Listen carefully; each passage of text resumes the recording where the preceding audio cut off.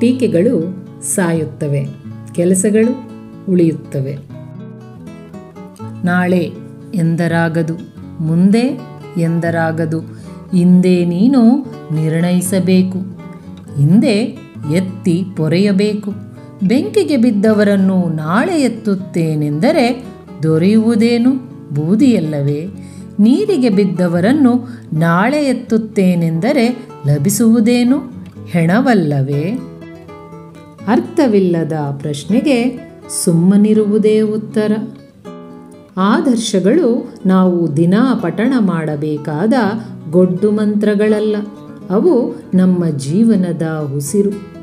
ಆದರ್ಶವಿರುವುದು ಅದರಂತಾಗುವುದಕ್ಕೆ, ಅದಾಗುವುದಕ್ಕೆ.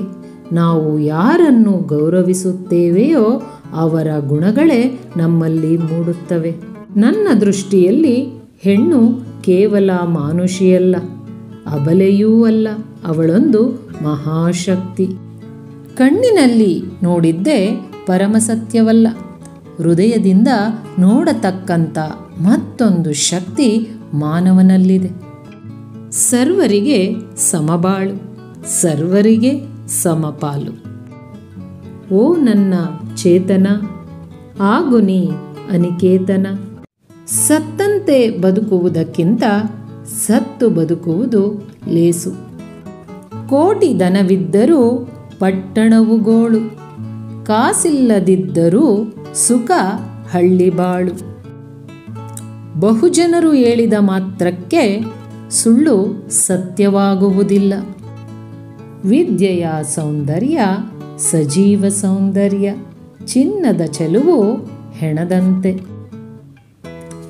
ಹೊಸಬಾಳ ಗೀತೆಯನ್ನು ದಿಕ್ಕು ದೆಸೆ ಬರಿವಂತೆ ಕೊರಳೆತ್ತಿ ಕೈಯೆತ್ತಿ ದನಿಯೆತ್ತಿ ಹಾಡಿ. ಸೇರಿ ನಡೆದರೆ ನಿಮ್ಮ ತಡೆಯುವವರಾರಿಲ್ಲ. ಜಗವೇ ಹಿಂಜರಿಯುವುದು ನಿಡುದಾರಿ ನೀಡಿ.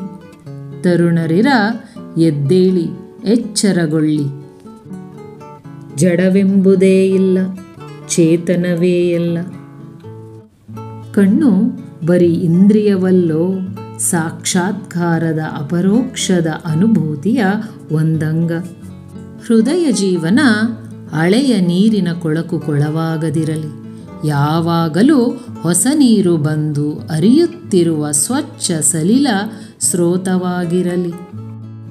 ಮಂದಿಯ ಕೈಚಪ್ಪಾಳೆ ವೃತ್ತ ಪತ್ರಿಕೆಗಳ ಅಗ್ಗದ ಸ್ತುತಿ, ಬಿರುದು ಬಾವಲಿಗಳ ವ್ಯಾಮೋಹ ಇವುಗಳಿಗೆ ವಶನಾಗದೆ ತಾನು ಹಿಡಿದ ಕೆಲಸವನ್ನು ಪಟ್ಟು ಹಿಡಿದು ನಿಶ್ಶಬ್ದವಾಗಿ ಮಾಡುವಾತನೇ ನಿಜವಾದ ಯೋಗಿ.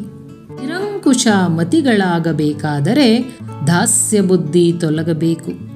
ದಾಸ್ಯ ಬುದ್ಧಿ ತೊಲಗಬೇಕಾದರೆ ಸ್ವತಂತ್ರವಾಗಿ ಜೀವಿಸಲು ಪ್ರಯತ್ನಿಸಬೇಕು.